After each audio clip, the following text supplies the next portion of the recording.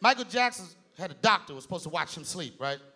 I think Michael Jackson doctor fell asleep while he was watching Mike sleep. He was probably watching Michael Jackson monitors. Boop, boop, boop, boop. Boop, boop, boop, boop. Boop, boop, boop, boop. Boop, boop, boop, boop. It started looking like sheep going over a fence.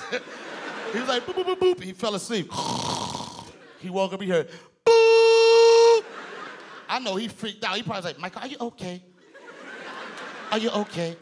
Michael, are you okay? Are you okay? Are you okay, Michael? Michael, are you breathing? Can you see me? Are you okay, Michael? Michael, are you okay? Are you breathing? Can you see me, Michael? You've been hit by some new devil man. Take it in the face.